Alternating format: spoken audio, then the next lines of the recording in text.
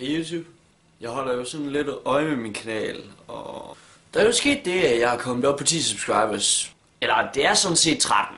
Men i hvert fald.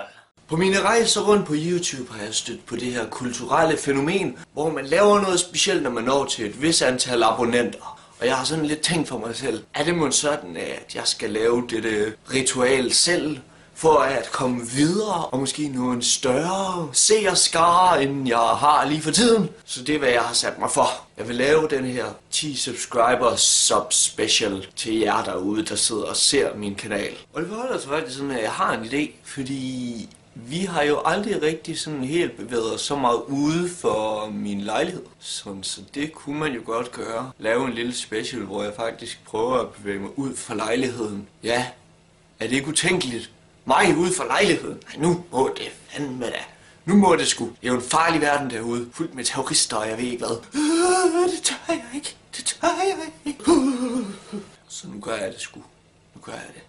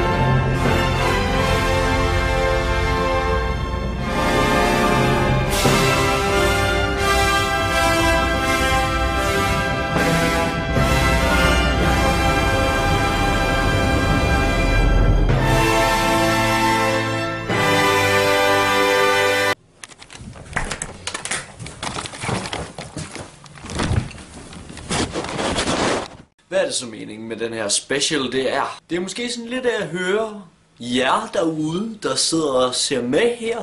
Hvad synes I om min video indtil videre? Hvad synes I? Er det godt nok, det jeg laver? Er det fint nok? Er der måske nogle ting, som I synes, jeg kunne gøre bedre? Er der måske et specielt emne, som I vil have, jeg skal kigge bedre på? Vil I have, jeg skal lave en Ask Me video for eksempel? Har I for eksempel nogle spørgsmål til en Ask Me video, så kan I jo prøve at smide den dernede i kommentarboksen. Et eller andet sted, så synes jeg det er fantastisk, at I vil se med her på den her kanal.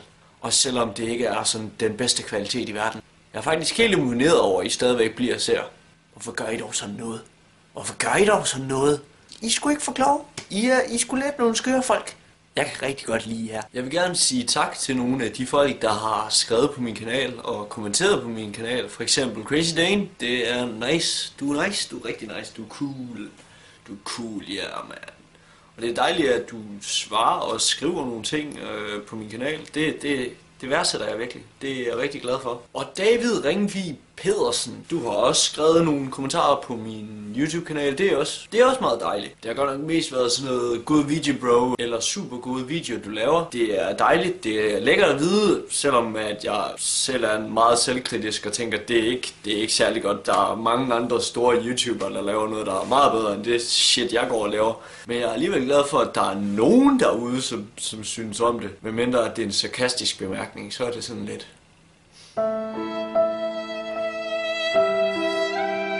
Men ja, det ville da være rart, hvis at der var nogen af jer derude, der ville lave nogle spørgsmål til en, en potentiel Ask Me video, eller hvad fuck ved jeg.